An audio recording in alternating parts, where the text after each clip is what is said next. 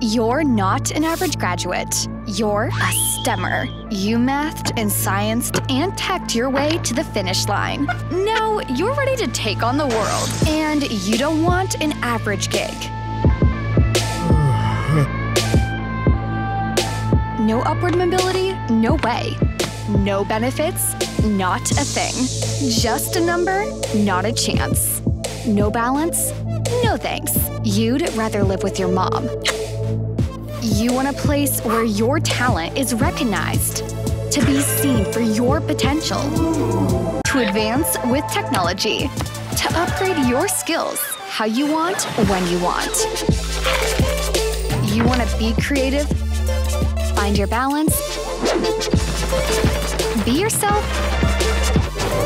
feed your curiosity, live your best life. Oh, You've come to the right place.